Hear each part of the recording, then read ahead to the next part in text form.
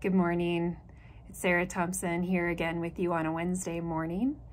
And I hope you've been having a good week so far and that you've been reflecting on potentially where your hope is coming from.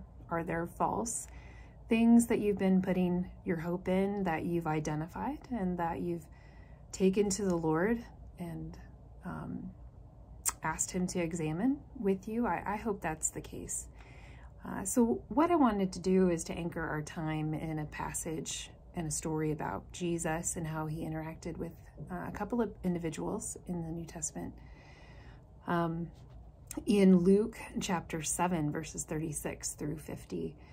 And I wanted to just um, examine this in light of where we put our hope and what we need to repent of sometimes and the repentance is in this passage, but um, it may not seem obvious at first. So I'll walk us through it a little bit, um, but I wanted to give us um, some time to immerse ourselves in a story of Jesus. So this story takes place at Simon the Pharisee's house. He's asked Jesus to dinner. We don't know exactly why he has asked Jesus to dinner. The Pharisees have actually been very critical of Jesus up to this point, and so he may be testing Jesus and and actually what he has neglected to do, Simon has neglected to offer Jesus courtesies that were very common in the Middle Eastern culture when you ask somebody, someone to dinner. And because he has neglected these courtesies, we don't see it this way because we don't live in that culture. But in that culture, that would be a kind of a big insult, a, a really clear sign of disrespect for Jesus. Jesus seems not to take much notice of this or at least not care about it too much. Um, but there's a woman in the room who seems to care about this, um, who loves Jesus because she's been forgiven by him. And she's known to be an immoral woman, uh, someone who sins, and she decides to extend these courtesies to Jesus. She's come prepared with some perfume and she goes to Jesus who's reclined at the dinner table and she starts crying at his feet and she washes his feet with her her tears and her hair and she pours perfume on them and she's kissing them and she's just pouring out her devotion to Jesus. So Simon, who has invited him to dinner, is watching all of this, perhaps from across the table or somewhere in the room.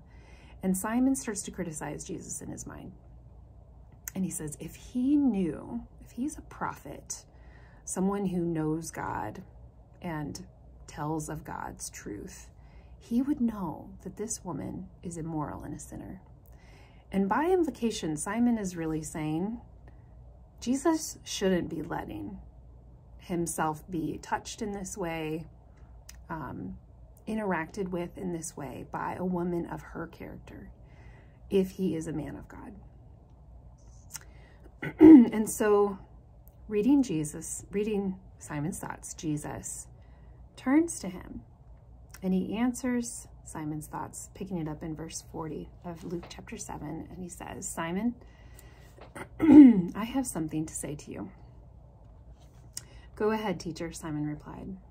Then Jesus Jesus told him this story. A man loaned money to two people, 500 pieces of silver to one and 50 pieces to the other. But neither of them could repay him, so he kindly forgave them both, canceling their debts. Who do you suppose loved him more after that? Simon answered, I suppose the one from whom he canceled the larger debt. Jesus said, That's correct.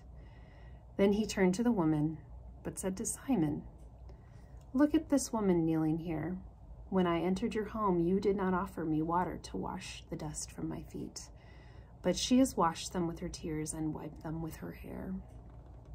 You didn't greet me with a kiss, but from the first time I came in, she has not stopped kissing my feet. You neglected the courtesy of olive oil to anoint my head, but she has anointed my feet with rare perfume. I tell you, her sins, and they are many, have been forgiven. so she has shown me much love. But a person who is forgiven little shows only little love. Then Jesus said to the woman, Your sins are forgiven. The men at the table said amongst themselves, Who is this man that goes around forgiving sins? And Jesus said to the woman, Your faith has saved you. Go in peace. So, what does this have to do with repentance? I want you to notice here that it says that the sins of the woman have been forgiven. So she is showing her great love for Jesus because her sins have already been forgiven. She knows the life that she's lived and she wants forgiveness. She knows that she needs it and she's come to the Lord for it and he's granted it. He even says it to her twice. Don't you love that? He says it to her twice to reiterate it. But for Simon, he's actually offering Simon a chance at repentance because what Simon is not noticing here is that even though he is a teacher of the law, a teacher of the truth of the word of God, he has a self-righteous attitude. He sees himself above this woman in this passage. And he is in need. That is a sin. That, that is a sin to consider myself better than someone else. And, and he is in need of forgiveness. He's, he, he's in need of the offer of repentance. And I see this offer of repentance from Jesus as a holy invitation, a holy invitation. Because the Bible tells us that God doesn't want any of us to perish. He loves all of us. He loves the world. He loves the people who don't think they need him and the people who do think they need him. And if that's true, then in his correction of us and of Simon here, he's actually offering us to hope in him, to hope in the purity and the righteousness that only God, only Jesus can provide him. Because even though he really only owes 50 pieces of silver compared to her 500. He still owes. And so I just want to think about that in light of in light of maybe what we need to do um, as we live our life with God, as we think we know him, as we do know him, are we willing to let him correct us and offer us a holy invitation?